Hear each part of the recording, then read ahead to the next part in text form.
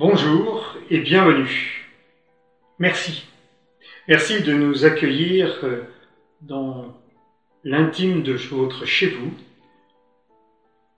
Merci de partager avec nous ce moment de célébration de Pâques. Je m'appelle Didier Fievé, je suis pasteur de l'Église protestante unie de France. Je suis à la retraite et je collabore en ce moment avec euh, l'Église unie du Canada. Les conditions dans lesquelles nous enregistrons ce moment sont des conditions un petit peu artisanales, des conditions maison. J'espère que ça ne nuira pas à l'écoute et à la vision de l'ensemble. Une parole nous attend, une parole nous accueille depuis toujours, quelle que soit notre histoire, quelle que soit notre condition. Une parole qui n'a qu'un seul but, nous donner l'amour et la paix dont nos vies ont besoin, tout particulièrement pour traverser la période qui est la nôtre. Bienvenue. Cette célébration a été préparée, les prières rédigées et dites par Madame Nicole Baudry d'Ottawa, par Pierre Goldberger, pasteur à la retraite à Montréal, par le pasteur euh, Kofi Yakusa d'Ottawa et par Angélica Pichet, pasteur au Séminaire uni de Montréal. En votre nom, et en mon nom personnel bien sûr, je leur dis merci. Et je vous invite maintenant à un petit moment de silence pour entrer dans ce temps où Dieu lui-même nous invite.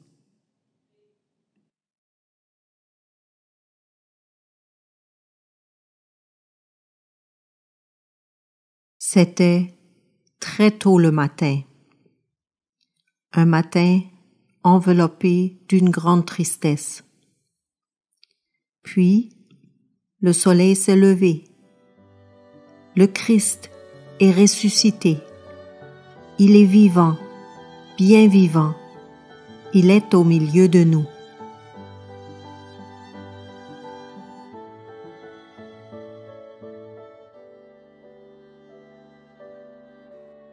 Dieu de lumière et d'amour, c'est toi qui nous invites, c'est toi qui nous rassemble.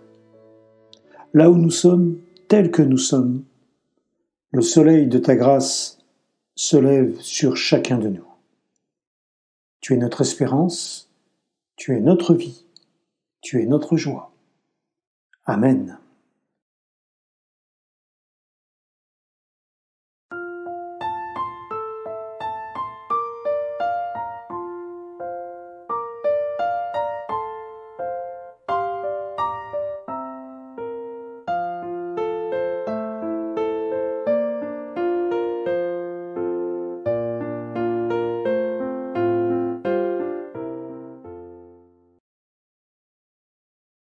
Nous vous invitons maintenant à chanter ce joyeux chant de Pâques Un nouveau matin se lève.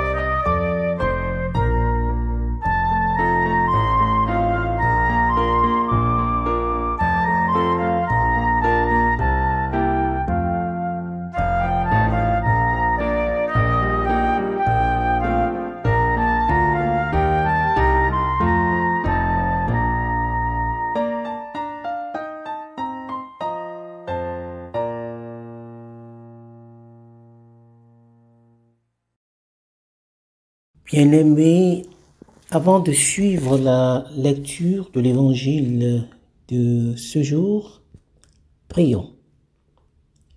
Dieu de vie, Dieu plus fort que la mort, tu es celui qui nous fait toujours espérer sans nous lasser. Lorsque notre monde semble courir à sa perte, tu nous redis qu'un avenir reste possible. Donne-nous de savoir accueillir la vie que tu nous offres en Jésus. Il est notre Seigneur et notre frère. Il règne avec toi et avec l'Esprit Saint. Viens par ta parole illuminer nos vies afin que nous retrouvions la joie de Pâques. Amen. Le texte qui servira de toile de fond pour notre méditation de ce jour est tiré de l'évangile de Jésus-Christ selon Matthieu. Matthieu chapitre 27, les versets 50 à 57. Écoutons la parole de Dieu. À partir de midi, il fait nuit dans tout le pays jusqu'à 3 heures de l'après-midi. Vers 3 heures, Jésus crie très fort, Élie, Élie, lema sabachthani. Cela veut dire, mon Dieu, mon Dieu, pourquoi m'as-tu abandonné? Parmi ceux qui sont là, certains l'entendent et disent, il appelle Élie. Aussitôt, l'un d'eux part en courant.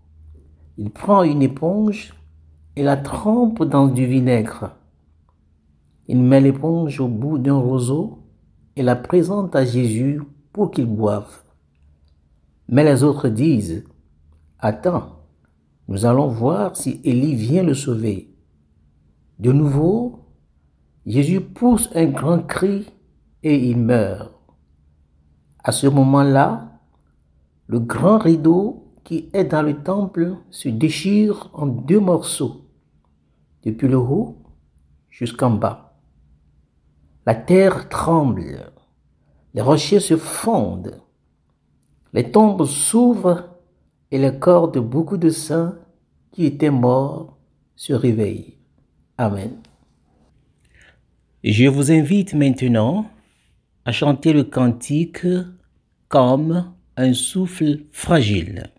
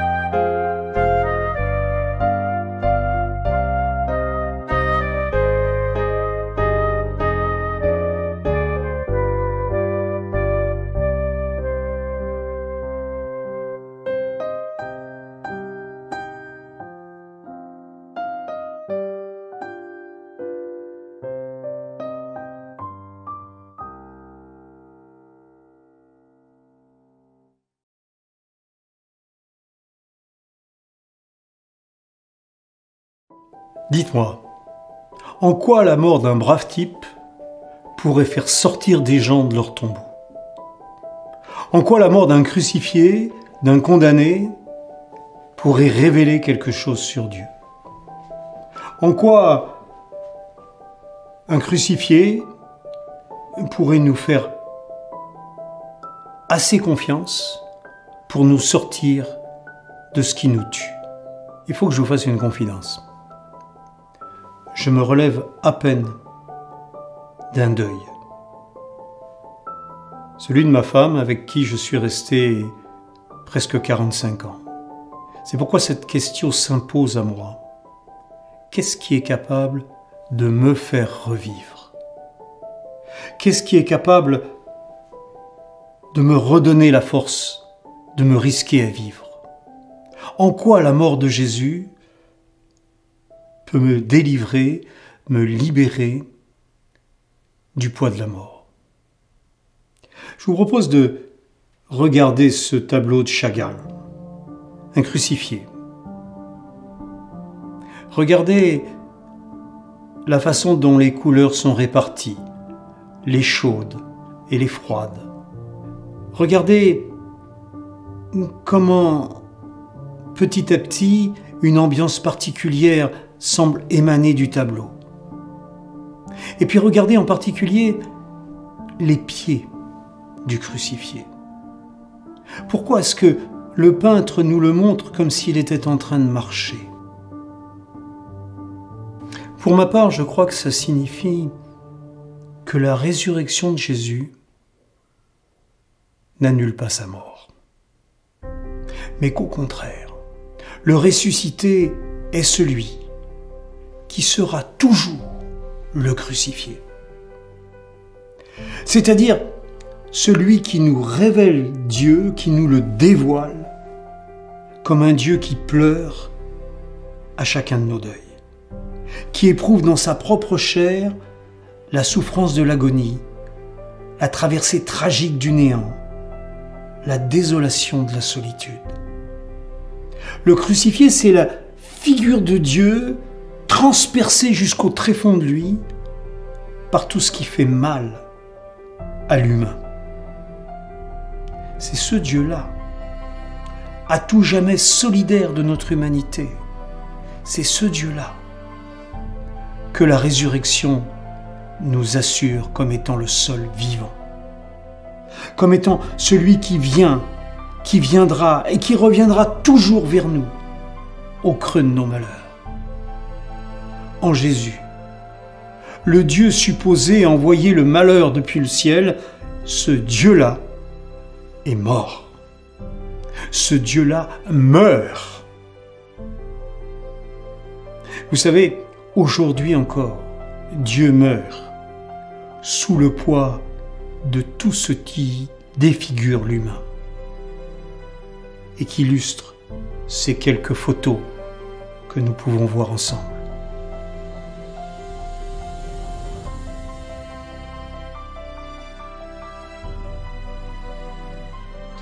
Dieu meurt sous tout ce qui défigure l'humain, mais Dieu meurt aussi sous le poids de ce qui le défigure lui. Vous savez, elles fleurissent en ce moment, les usurpations religieuses. Quand on se sert du nom de Dieu pour abuser les gens, pour leur confisquer la parole, pour les réduire au silence.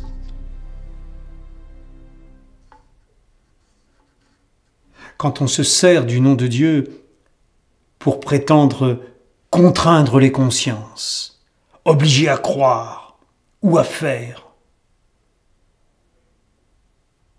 Parce que vous savez, quand Dieu meurt à la croix, ça signifie que Dieu n'est plus, ne peut plus être une divinité qui envoie le malheur le malheur, il le subit. Dieu n'est plus, ne peut plus être le juge. C'est lui qui est jugé. Dieu n'est plus, ne peut plus être celui qui condamne. C'est lui qui est condamné. Dieu n'est plus, ne peut plus être l'empereur impérialiste du monde. Il meurt sous la puissance impériale. Dieu n'est plus, ne peut plus être le patriarche qui aurait droit de vie et de mort sur ses rejetons. Il est fils enfant qui meurt. Dieu n'est plus, ne peut plus être la justification des religions. C'est les religieux qui le mettent à mort. Alors, oui, la mort de Jésus tue les dieux et les déesses de malheur. Et du coup, elle ouvre mes tombeaux. À la mort de Jésus, un autre visage de Dieu nous est dévoilé, et c'est le Dieu qui a épousé notre humanité.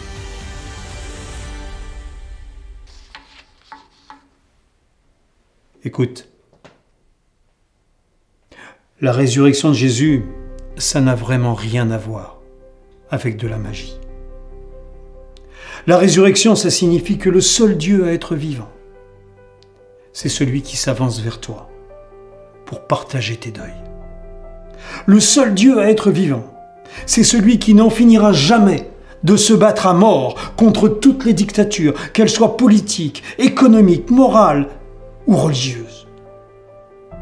Le seul Dieu à être vivant, c'est celui qui élève son cri de protestation jusqu'à ce que tu puisses sortir de tes tombeaux, jusqu'à ce que tu puisses sortir de tes prisons.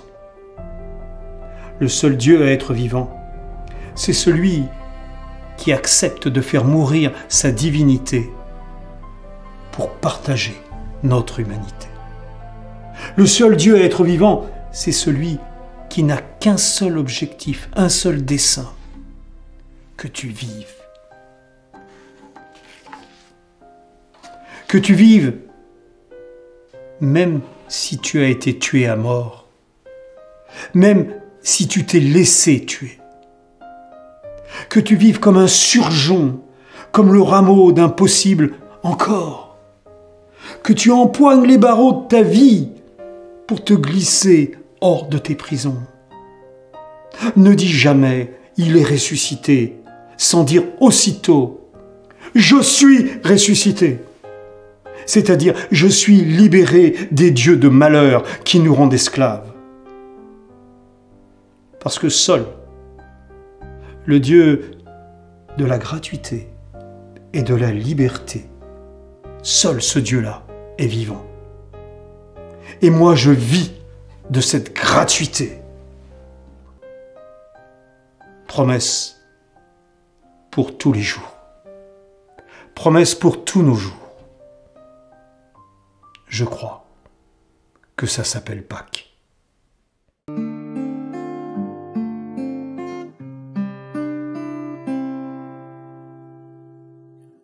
Oh, prends-moi tel que je suis, fais-moi renaître à la vie. Viens mettre ton seau sur mon cœur, viens vivre en moi. Prends-moi tel que je suis. Fais-moi renaître à la vie. Viens mettre ton seau sur mon cœur, viens vivre en moi.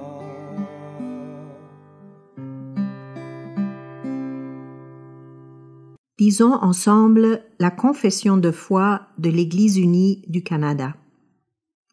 Nous ne sommes pas seuls. Nous vivons dans le monde que Dieu a créé. Nous croyons en Dieu qui a créé et qui continue à créer, qui est venu en Jésus, parole faite chair, pour réconcilier et renouveler, qui travaille en nous et parmi nous par son esprit. Nous avons confiance en Dieu. Nous sommes appelés à constituer l'Église pour célébrer la présence de Dieu, pour vivre avec respect dans la création, pour aimer et servir les autres, pour rechercher la justice et résister au mal, pour proclamer Jésus crucifié et ressuscité, notre juge et notre espérance. Dans la vie, dans la mort, et dans la vie au-delà de la mort, Dieu est avec nous, nous ne sommes pas seuls. Grâce soit rendue à Dieu.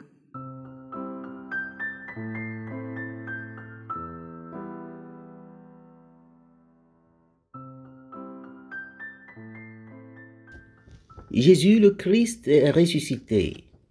Ô Christ, tu déploies pour nous toute la couleur de l'espérance. Aujourd'hui encore, tu es au milieu de nous, vivant. Tu es lumière et vie pour nous, ici et maintenant. C'est pourquoi, en ces moments d'épreuve, nous qui sommes unis et dispersés, nous nous confions en ton amour et te présentons nos prières pour nos proches, pour le monde et pour nous. Ensemble, nous te disons. Nous nous confions en ton amour, écoute notre prière.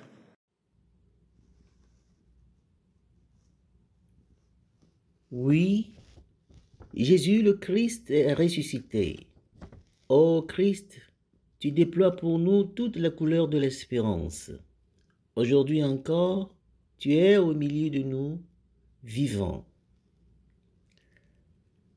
Seigneur, nous te prions pour tous ceux et celles près de nous ou de par le monde que nous portons dans nos cœurs, qui nous donnent goût à la vie et qui aujourd'hui nous donnent aussi souci.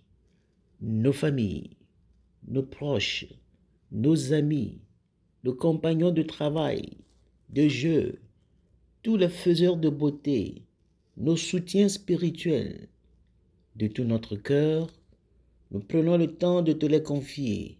À toi qui es accueil et amour, de te les nommer à voix haute ou dans le secret de nos cœurs.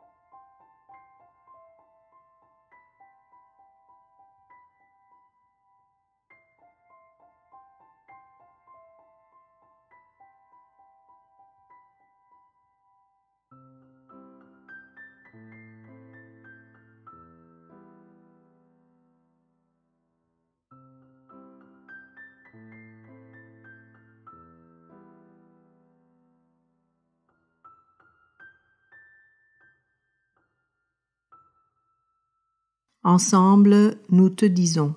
Nous nous confions en ton amour, écoute notre prière. Nous te nommons aussi spécialement celles et ceux qui sont le plus à risque, les plus vulnérables dont tu t'es approché en priorité.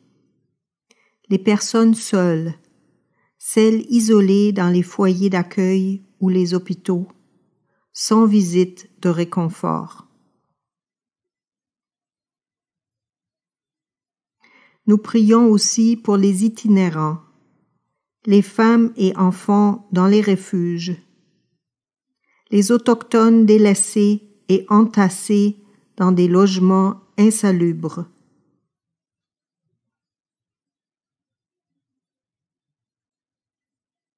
Ensemble, nous te disons. Nous nous confions en ton amour, écoute notre prière. Comme toi qui as guéri le corps et l'âme, ta présence lui à travers tous les actes de soins, d'amour, de solidarité, de générosité et de service. Aussi, nous te confions avec reconnaissance tous les travailleuses et travailleurs du système de santé, ceux et celles qui servent dans les services essentiels et qui nous permettent de vivre. Tu chemines avec nous. Nous te disons ensemble. Tu es vivant parmi nous, reçois notre reconnaissance. Nous nous présentons nous-mêmes dans la confiance de ta grâce tels que nous sommes, avec nos dons, nos inquiétudes, nos craintes.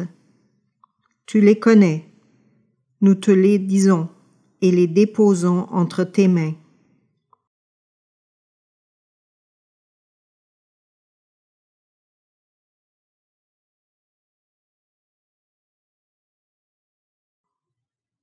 Richard, notre modérateur, prie avec nous Ô Dieu, aide-nous à ce que nos cœurs se touchent alors que nous nous pouvons le faire avec nos mains, sachant que l'amour surpasse la crainte. Aussi, nous te louons et te disons ensemble. Tu es vivant parmi nous, tu nous libères de la crainte, reçois notre reconnaissance. Seigneur pleinement humain, Ressuscité, tu traverses la mort et nous appelles aujourd'hui, dans ces temps difficiles, à nous relever, à ressusciter et dans nos vies, à saisir toutes les occasions à portée de cœur, d'imagination, de gestes et de solidarité, à nous aimer les uns les autres comme tu nous aimes. Ensemble, nous te disons. Seigneur, merci tu viens à notre rencontre, nous relève et nous donne la liberté d'aimer et de servir. Nous prions pour le monde, nous ne sommes pas seuls. À travers nos épreuves, nos douleurs, nos deuils, nos fragilités, nous savons aussi que nous vivons dans une partie privilégiée du monde. Tout autre et la réalité de ce qui se vit dans les pays du Sud. Ainsi nous interpelle Marlise Rousier, biologiste et épidémiologue en Haïti. Nous n'avons aucun des moyens des pays développés. Nous n'avons ni masque, ni appareil respiratoire, ni jaquette, ni lit d'hôpitaux libres et peu de soignants. Nous avons les plantes de chez nous en Haïti et leurs vertus. Comme partout dans les pays les plus vulnérables du Sud, Marlise ne lâche pas. Elle s'attache à faire connaître les plantes au peuple délaissé. Lumière de Pâques. La vie passe.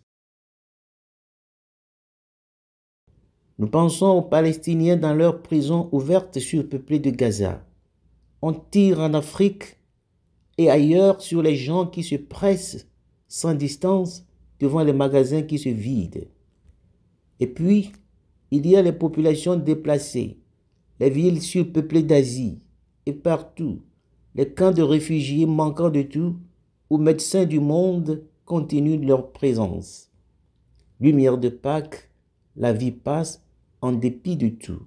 Ta lumière luit dans les obscurités les plus profondes de notre monde et nourrit nos engagements et notre espérance.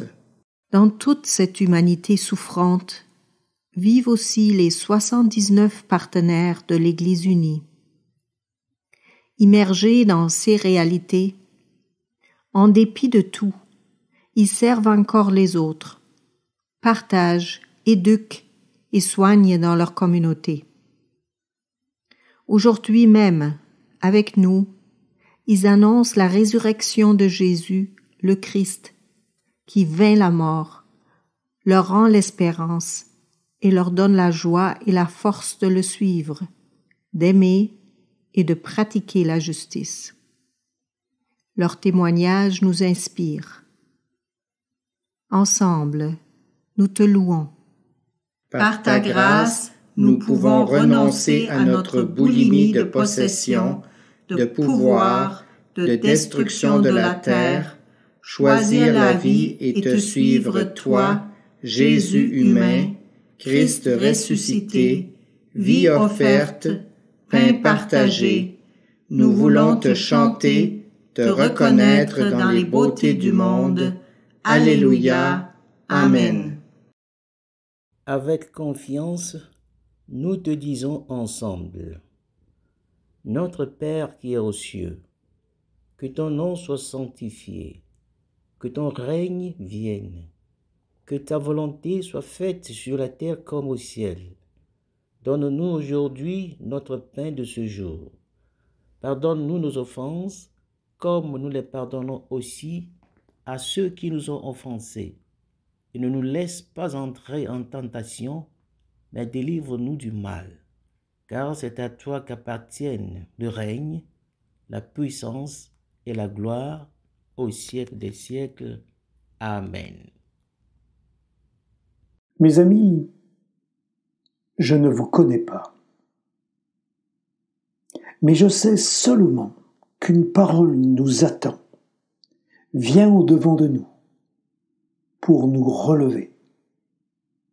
Là où nous ployons sous le poids de l'adversité, là où nous sommes tentés de nous réfugier dans des certitudes figées, là où l'angoisse nous prend au collet, là où la culpabilité nous accable, là où nos images de Dieu nous prêchent la soumission, voici qu'une voix s'élève. J'ôte le fardeau, je brise les chaînes, redresse ton dos. Les dieux de malheur sont morts. Vive le Dieu qui nous relève et nous ouvre l'avenir. Que cette parole soit pour nous une bénédiction, porteuse de bien, de vie et de paix. Amen. Pour terminer dans la joie, je vous invite à vous joindre au chant À toi la gloire.